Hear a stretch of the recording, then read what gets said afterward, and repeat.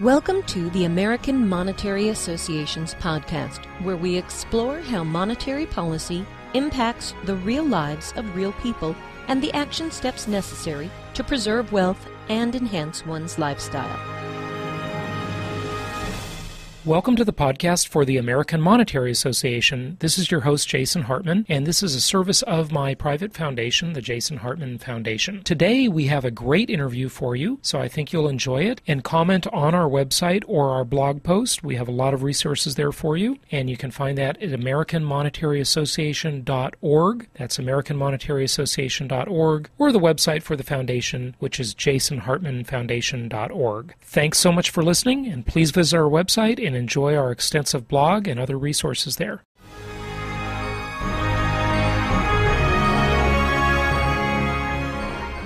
It is my great pleasure to have the NIA on the phone today for an interview with us. And we have Daniel N. Gerard, and NIA stands for the National Inflation Association. I have been following their work for a while now. They produce some fantastic videos and a new documentary entitled Melt Up. And these guys have some really interesting insights into what is going on and, and really the scam that is being played. I'll call it that. That's not their words, it's mine. At the highest levels of our financial system and how we can all best deal with it. Welcome, guys. It's great to have you. Hey, it's our pleasure. Thank you for having us. My pleasure. Gerard, maybe I'll start with you and just get a little background eh, as to what NIA is and, and why you started it. Basically, NIA is the National Inflation Association, and it's an organization that we created basically because we were tired of all the propaganda that was being put out by the mainstream media. We felt that there wasn't enough places for the people to go and get the facts about the economy and, and why they should be preparing for hyperinflation. And we're basically dedicated to preparing Americans for that hyperinflation and, and helping them not only survive but prosper from it. Excellent. Well, that is, that is a very noble mission, and I'm right with you there. So, Daniel, what are your predictions for the future? I mean, obviously, you guys believe there will be a hyperinflationary future, and what does that look like? Well, you know, we're looking at literally a, a, a depression in the United States, but it's going to be combined with inflation because we have all the statistics looking at baby boomer data, looking at peak spending for consumers. All of this is pointing towards a huge contraction in not only spending but revenues for the government. But at the same point in time,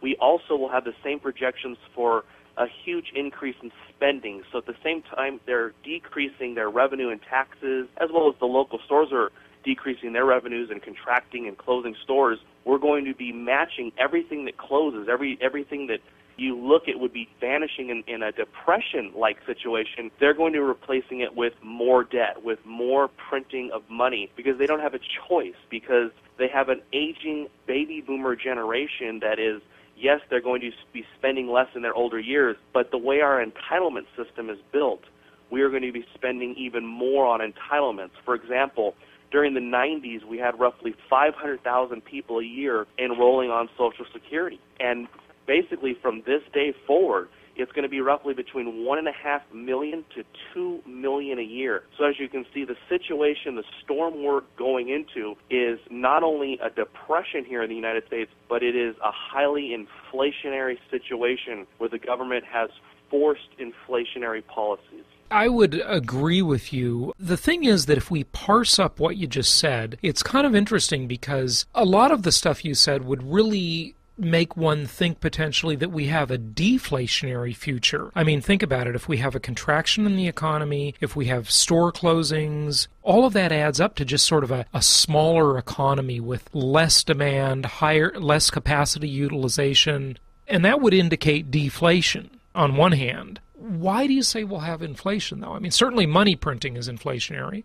Well, the biggest difference is this will be the first downturn, global downturn in world history, where there is not one single currency that is connected to a precious metal, not connected to gold, not connected to silver, not connected to any commodity. So when you look at you know economics 101, yes, it spells deflation, but you have to remember all the books in in history have a currency that is backed by gold. So when you look at the Great Depression, we still had a currency that was backed by gold. Right. So trying to compare the Great Depression in the 30s and the Great Depression from 2010 to the early 20s, it's really comparing apples to watermelons because this time you have to look at the currency situation. It dramatically changes everything. That's a very, very good point. I mean, every currency in the world is now a fiat currency. And so there we really get to this sort of race to the bottom phenomenon where all of them will potentially become worth their intrinsic value paper and ink. But maybe the US is is the better of the lousy currencies. I mean, we're certainly seeing that right now with what's going on in Europe where the euro once thought to be the sort of star of the show uh, just a couple of years ago is now looking like a real disaster, huh? Yeah, exactly, and it's very deceiving because people will follow the dollar index. What it is is it's it's illusions priced against other illusions. And that's why the National Inflation Association, part of their 2010 predictions list, was really to fo- have people start focusing on the Dow priced in gold. And as you can see, the Dow and most things relative to gold are actually seeing uh, a contraction in their price relative to gold. So if you look at the Dow Jones, it was roughly, I think, roughly over 40 ounces of gold in 2000. Today, it's just hovering right around, oh, just over seven and a half, just under eight and a half, kind of bouncing around there. But so if you look at the Dow Jones, I mean, you're not really gaining any value. All you're doing is you're seeing the result of inflation. And of course, this is what the documentary um, Melt Up shows with overwhelming evidence. Yeah, and by the way, you guys did a fantastic job on uh, Melt Up. I, I really got to say I'm impressed. And you had over half a million views of that, right? Yeah, in just three weeks. Fantastic, Gerard. That's that's really good work. We look at this 60 plus trillion dollar time bomb of entitlement liability hanging over our heads. This has never happened before in world history. We have aging baby boomers, we have Gen X, my generation that is much smaller coming behind them, and then Gen Y coming up after that. And yet at the same time, we have a reasonable sized chorus of people out there saying that the future is deflationary. I don't agree with them, but I'd just like you to address what they say. And here's what I hear them say. I hear them say things like, there is so much deleveraging going on and so much more deleveraging to come. They quote numbers like $46 trillion in, in potential defaults coming up on, on various forms of debt. And they say things like, the government can't print enough money to create inflation. Well, that to me on its face is a is a completely stupid statement because the fact is there is no limit to the amount of money that can be created out of thin air. But what do you say to the deflationist out there? They are out there and they say that everybody's talking about inflation, but they say the future is deflationary. And the first part of this downturn really was deflationary in many categories, wasn't it? What you're looking at is the perceived value of a currency. And so right now when things are kind of normal, the system is still um, you could say relatively intact, although it's being held together with simply nothing but print more money. It is the perceived value of the currency and that is the biggest difference between the deflationists and the inflationists. Because if you listen to basically our arguments, we're reviewing, we're looking at the same facts, we're looking at the same statistics, and we pretty much agree all the way up until basically what is going to be the short-term result. Even if you if you talk to some of the biggest deflationists, um, even Harry Dent out there and and uh, Prechter, they will tell you that yes, they believe in deflation. Of course, they're they're huge on deflation, but they also say well, in about 10 years, though, we will experience huge hyperinflation. So the timing is really different. I think both camps do inevitably believe that it, it is uh, going to be a dollar situation. And so really that's what separates us. But just getting back to the currency, the dollar is, is really, you know, if, if you keep interest rates low and keep the quantitative easing, you're going to experience the results of hyperinflation because you are already doing it. If you raise interest rates, like everybody says, it's just going to be so easy to do. I mean, let's be real. What would happen to the U.S. economy if interest rates went up 5%? I mean, we can barely sell homes by giving people $8,000 tax credits and having interest rates for the banks at 0%. If you raise interest rates, this economy will freeze up. And as it freezes up, just like the world is turning its back on Greece, they will look at the U.S. dollar as no longer a stable currency because the U.S. dollar is still backed by the U.S. economy and the perception that we can grow ourselves out of this. Once they see it freeze up because we raise the interest rates 2%, 3%, 5%, the world will know. They'll know that the United States is either going to have to print to devalue their currency to pay off their debts, or they're going to have to default. Either way, it, it equals people running from the U.S. currency, and investor demand for treasuries will collapse. It's already contracting. There's already some of our biggest treasury buyers are already contracting in their in their holdings. So we're already seeing the world look at the dollar not like they have ever uh, in the last 30 years. Right, and what those treasury auctions directly relate to mortgage rates, and that is why I agree that we must is absolutely impossible that we will not see higher mortgage interest rates in the future. We we must see higher rates. There's no other way because they no can't doubt pay the that we might see more mortgage defaults in the future and more forced liquidations on Wall Street, but that's not going to change the fact that the dollar would not be looked at as a safe haven and that people need to position themselves into gold and silver, which are the only things that will provide protection from both a deteriorating economy and massive inflation. So, uh, yeah, very good point. So, what's odd is I've had Harry Dent and Bob Prechter on my show before, and oddly enough, Bob Prechter is a very interesting guy, and, and so is Harry Dent, of course. He still kind of believes in the metals, it seems like. I mean, even though he's a deflationist and he's got that, that big report he wrote on coping with deflation, it's sort of contradictory, if you ask me. And then Harry Dent said something that I just don't understand at all. He's, he talks about the fact that young people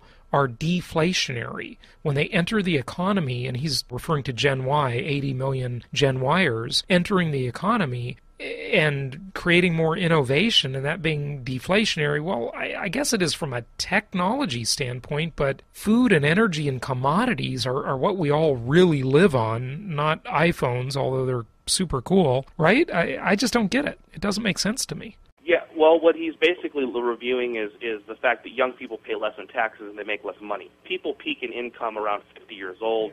They're peaking in spending around 46 to 48 because they've got these teenagers in the house eating everything. They've got to buy car insurance. They're paying for school loans. So I think that's what he's probably looking at.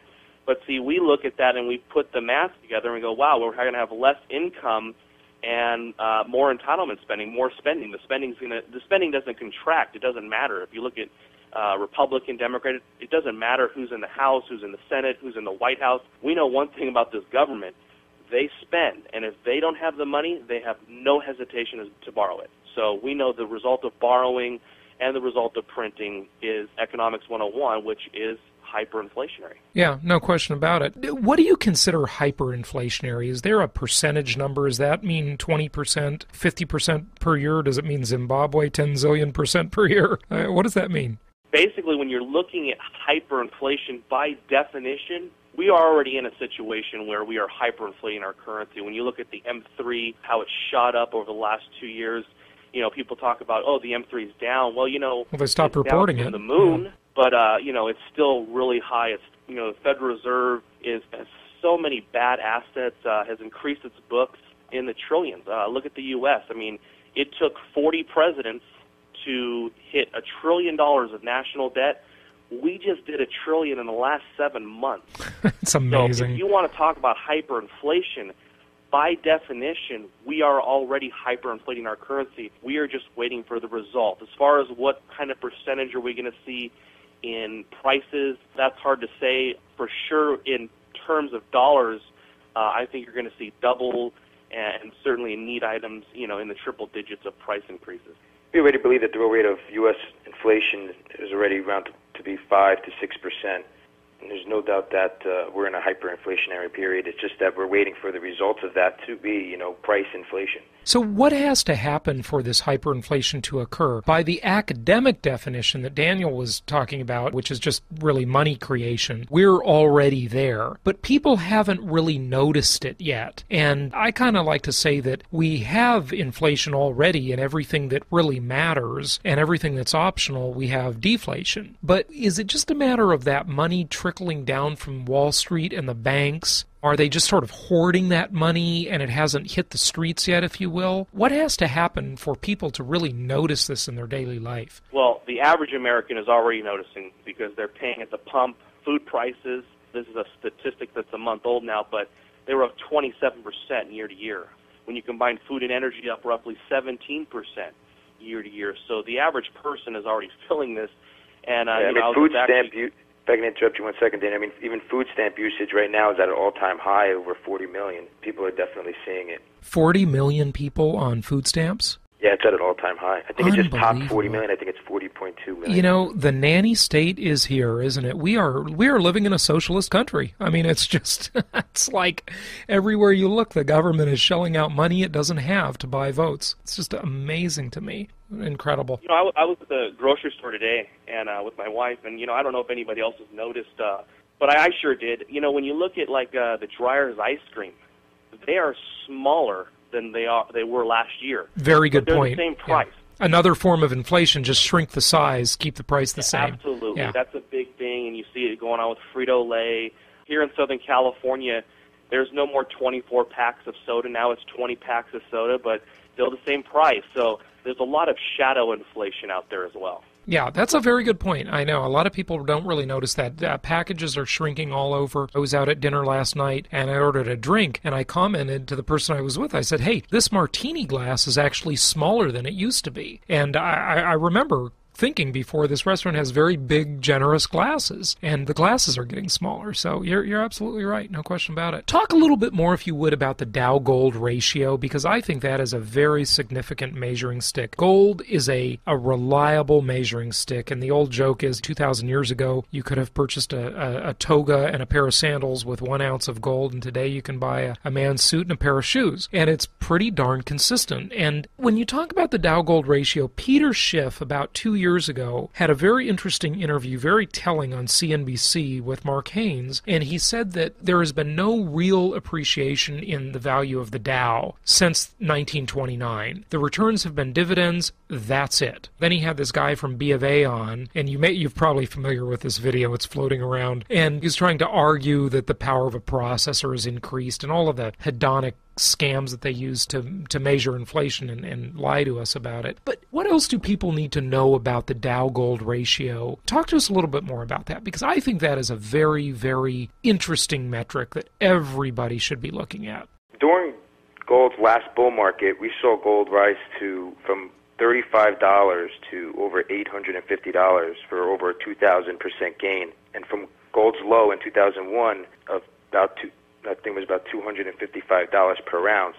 Um, we saw the same percentage gain in that bull market descended to over $6,000 per ounce back in 2001. Um, the other way to look at it is with the Dow, you know, the Dow Jones and gold ratio, which at in 1980 had bottomed at one, meaning that the price of gold matched the Dow Jones. If we saw gold and the Dow Jones meet the medium current levels, we could see uh, it rise to over $5,000 per ounce uh, today. That's an incredible. We're in this huge mess of entitlement liability, and I've identified six ways that the government might get itself out of the mess, and I'd just like to run them by you guys and see what you think, if I may. The first one is that they could just default on the promises. This, of course, is way too harsh. It's politically unpopular. I don't think this is going to happen, but it may to a small extent, where they just say, hey, we can't pay the Medicare, we can't pay the Social Security, etc. Again, harsh, unpopular, unlikely. Number two, raise taxes. Of course, they can't raise taxes enough to pay for this liability. They're in it's so underwater. It's it's just not possible. But I think it'll be somewhat of a blend of all six of these things. Number 3 is have a yard sale. Sell off assets to raise money. A few years ago we thought about selling the ports to du- Dubai. That was a big political football. The BLM sells off land. Now I guess we're considering selling military equipment to Muammar Gaddafi, our former enemy. Foreign countries own toll roads and so forth in, in, in the US. Number 4 the American military or the economic hitman. I had John Perkins on the show. I'm sure you know who he is. Really interesting guy. Just steal from other countries, steal their assets, their commodities. Number five would be good news, and that would be innovation, especially in the area of technology, energy, biotech, nanotech. That would be good news. But number six, and most likely, and I think this is what you guys really agree with, is just simply inflate their way out of the debt. Huge inflation. They'll keep the promises in nominal dollars, while in real dollars, dollars, everybody just gets poorer and poorer, and our debtor countries, China namely, will get paid back in more and more worthless dollars. Any thoughts on those six ways out of the mess? Looking at the list you just provided, you know, certainly, of course, I agree with you. It's it's going to be default by devaluation. The government has no problem doing this. I mean, if you look at everyone runs around talking about our standard of living, how well it's you know it is compared to 20 years ago. Look, because of the results of all the money creation, all the borrowing, uh, you know, the borrowing from the future, the borrow, borrowed prosperity. Here you have it, it now takes two people to raise a family. It takes a credit card. It takes a home equity line of credit. You know, I just talked to a, a couple a few days ago, and they told me how they were debt free now because they had lumped every credit card and loan they have into their house. Okay, so people don't even understand the concept of really being debt free anymore because they're just so used to this lifestyle. 20 years ago, it took a grocery clerk to raise a family of three or four, and now it takes two people working full time jobs. So the standard of living has deteriorated. Um, when you look at seniors, they're absolutely being ripped off because, as bad as it seems when you look at the debt for Social Security and the obligation for Social Security, it would be even worse if we just calculated inflation the same way we did 25, 30 years ago. According to John Williams from Shadow Stats, right now we're underpaying our senior citizens 43% because of all the different gimmicks that you'll see in Melt Up that we do with inflation, how we calculate the CPI, which is how we give them their standard of living increase. So if you watch the movie Melt Up, for those of you who've already seen it, you'll know that we're, we're no longer measuring the cost of living we're measuring the cost of survival. Yeah, that's a that's a great point, and you are so right about that because with substitution and weighting and hedonics, and then just out and out stripping things out of the index, it's completely bogus, and the government has a huge incentive for misleading the public. Number one, to buy votes and make them think they're having a better life than they really are. But number two is all of the entitlements are indexed to the, the CPI, which is controlled by the government. So there's a huge motivation to mislead when it comes to this, no question about it. What do you think people should do? I mean, really, what is the strategy of NIA? And namely, what sectors do you think will see this hyperinflation? And this is in a good way for the investor. Obviously, you guys like precious metals, I think, right? Absolutely. Are there any other areas where you see big opportunity for investment?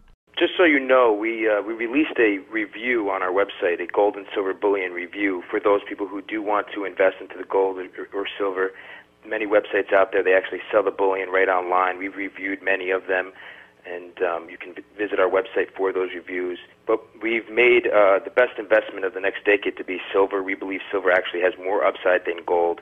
Um, it's it's in history, it's always outperformed gold, and it's actually a lot cheaper than gold right now. A lot of people, we get a lot of questions and, and emails from our members that say, you know, it's hard for them when the gold's, you know, a thousand, two hundred dollars an ounce, but you can actually invest into silver, and it's, you know, below twenty dollars an ounce still right now, and we feel there's there's a lot of upside potential there. But uh, other than silver and gold, we do believe that agriculture, as you know, as we've seen uh, food inflation, we believe agriculture is going to continue to to rise, and we're very bullish in agriculture as well as oil. We're getting ready to release our next stock suggestion, which will be an oil play. It's our first oil play, and we do believe oil has a lot of upside, um, especially to take advantage of the recent BP oil spill. Again, if you sign up to our newsletter, we consistently put out different suggestions in different companies. Not only do we suggest to invest into the bullion itself, but we also suggest to play the miners and the companies out there that are actually producing um, the gold and producing the silver and farming. And these are the companies that we believe actually even have more upside based on the market. So again, sign up to the newsletter, and, and you can go to the website and see many of the stock suggestions that we've had.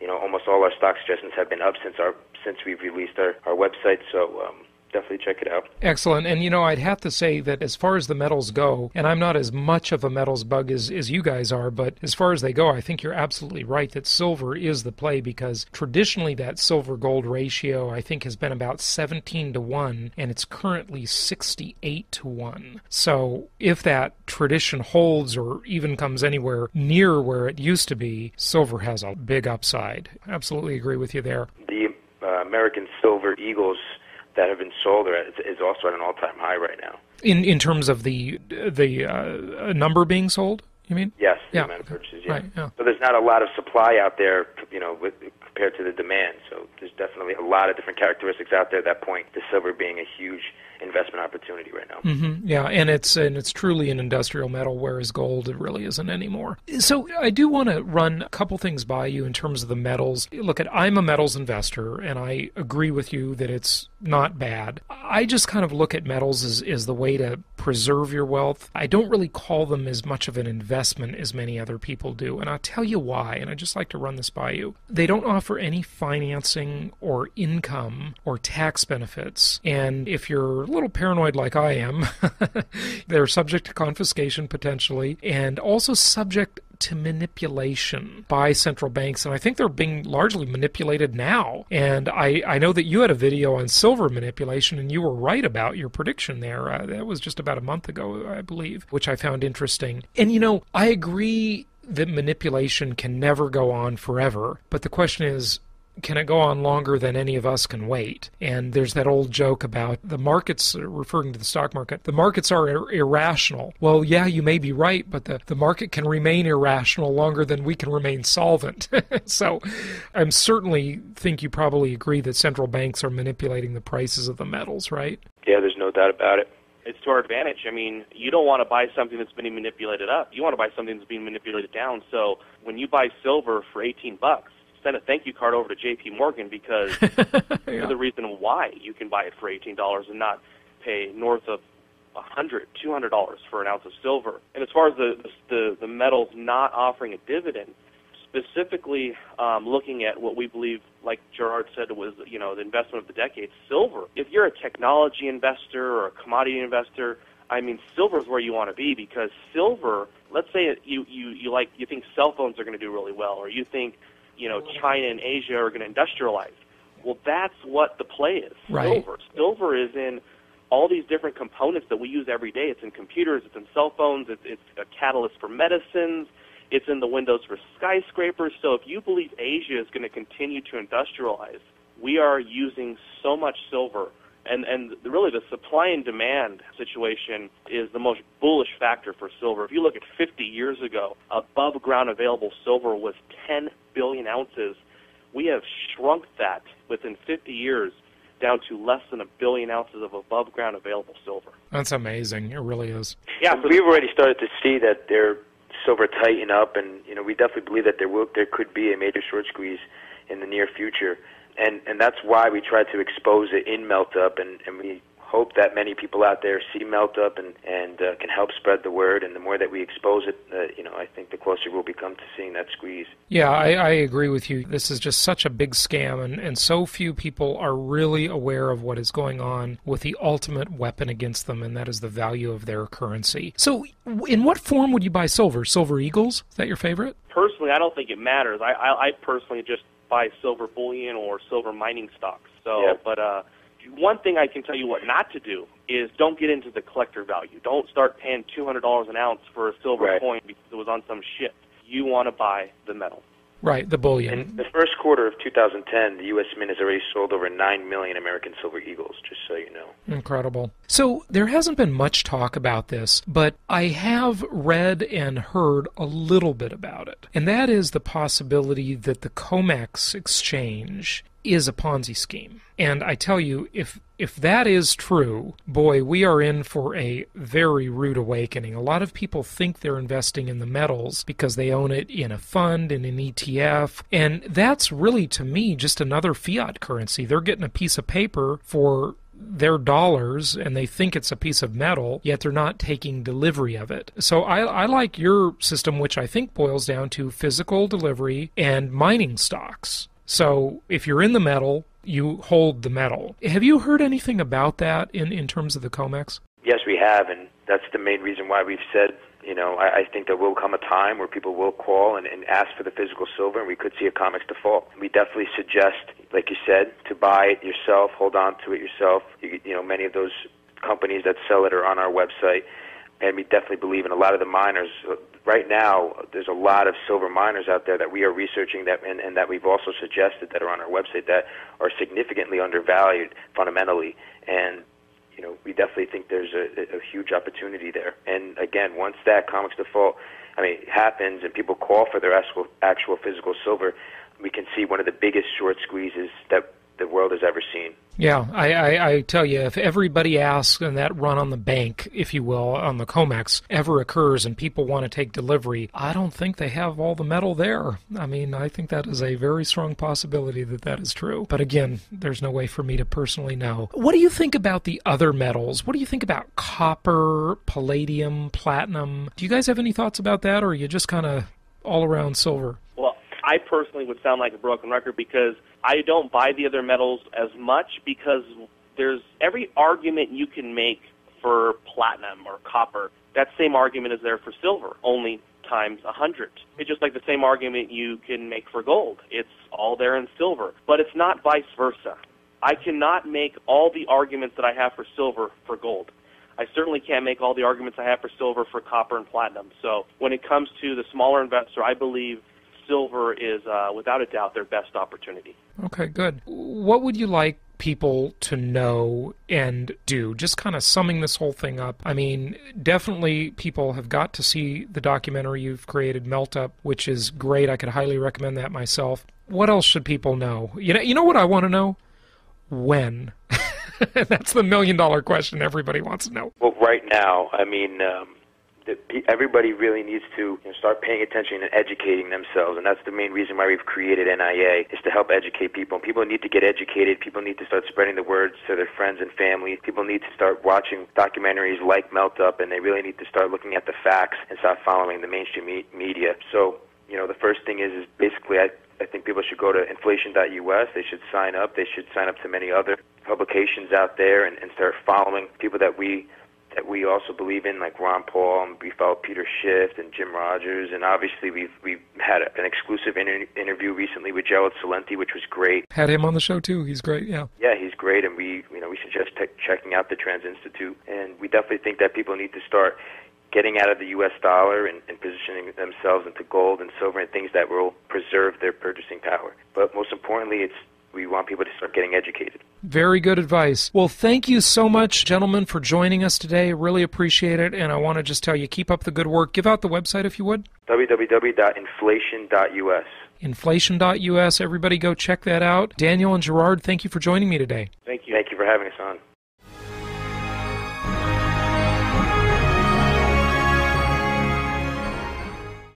The American Monetary Association is a nonprofit venture funded by the Jason Hartman Foundation, which is dedicated to educating people about the practical effects of monetary policy and government actions on inflation, deflation, and personal freedom.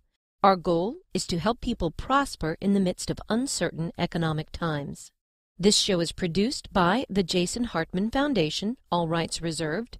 For publication rights and media interviews, please visit www.hartmanmedia.com or email media at hartmanmedia.com. Nothing on this show should be considered specific personal or professional advice. Please consult an appropriate professional if you require individualized advice. Opinions of guests are their own, and the host is acting on behalf of the Jason Hartman Foundation exclusively.